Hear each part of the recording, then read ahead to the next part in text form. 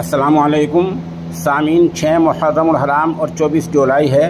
ख़बर का उनवान है, अंजू पाकिस्तान जाकर फातिमा बन गई है। ये वही अंजू है जो कई दिन पहले पाकिस्तान पहुँची थी और आज सुबह बयान दिया था कि मैं 20 अगस्त को हिंदुस्तान वापस आ जाऊँगी और ये कि मेरी जो दोस्ती है, वो उसमें प्रेम शामिल नहीं, मोहब्बत शामिल नहीं है, सिर्फ़ फ्रेंडली दोस्ती की हद तक शामिल है। अब खबर आ रही है कि अंजू ने बाबा वहाँ नसरुल्ला से निकाह कर लिया है और इलाके के मालाकन डिवीज़न के डीआईजी नासिर महमूद ने अंजू और नसरुल्ला के निकाह की तस्दीक की है और सहाफ़ी को बताया कि भारतीय खातून ने इस्लाम कबूल करके अपना नाम फातमा रख लिया है। डीआईजी मालाकन के मुताबिक दोनों का निकाह ज़िला अदालत में और फाजिल जज के सामने हुआ है और जिसके बाद हिंदुस्तानी खातून को पुलिस की निगरानी में अदालत अदालत से उनके मकान नसरुल्ला के मकान पर मुंतकिल कर दिया है।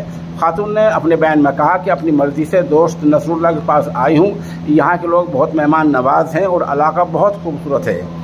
दूसरी जानब खातून ने पहली बार वीडियो बयान भी जारी किया है, जिसमें उन्होंने कहा कि कानूनी तरीके से पाकिस्तान आए हूँ, यहाँ खुद को महफूज समझती हूँ। मीडिया वाले मेरे बच्चों और रिश्तेदारों को परेशान न करें, जो बात करनी है मुझसे कर लें। बहरहाल फातिमा अंजू जो सुबह कह रही थी कि बीस अगस्त को वापस आ जाऊँगी, अब उन्होंने अपना नाम फातिमा रख लिया है और अपने दोस्त नसरुल्ला से बाबा निकाह कर लिया है, ऐसी वहाँ की पुलिस ने इसकी तस्दीक की है।